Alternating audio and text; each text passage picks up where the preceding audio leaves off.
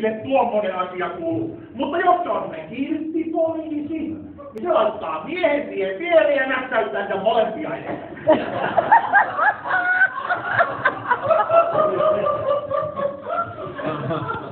Mutta nyt, nyt, nyt, nyt, nyt, nyt, nyt, nyt täytyy ruveta asiaa, että päästään näpsäyttelemään. Minä menen autosta hakemaan semmoisen kolmihaarasen teiden. Niin, katsokaa, ettei lapsesta tule suttuinen. Nyt minä en ymmärrä ollenkaan. Katsokaa, jos näpsäyttäessä yhtään sormia ja käsi, niin, niin silloin lapsi tulee suttuinen. Siis tekö nyt väitätte, että jos lapsi on suttuinen, niin se juontaa juurensa jo näpsäytysvaiheessa. Kyllä, se juuri, juuri, juontaa juuri sinne. Älkää nyt puhuko soopaa. En ole ikinä kuullut, että mitään telineitä tarvitaan. No voi hyvää rouva, kun te olette varmaan nähneet amatöörien pieniä vehkeitä, mutta kun meidän ammattilaiset vehkeet on niin järkyttävän suuret, että niitä ei jaksa koko aikaa käsivaralla kannatella. Ja jos ei ole telinettä, niin joutuu laskee vehkeet lattiaan.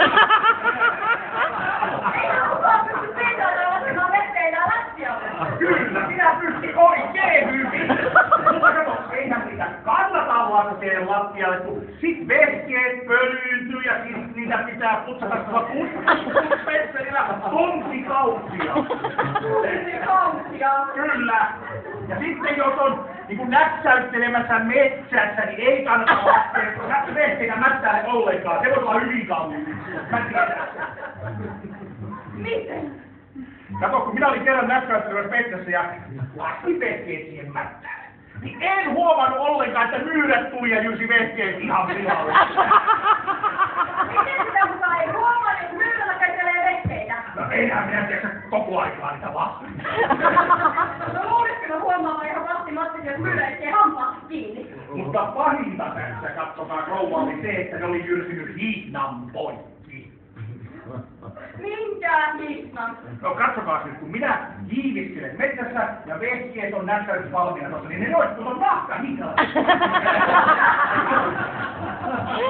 Miten hiivitte metsässä? No kato, minä kyttää eläimiä.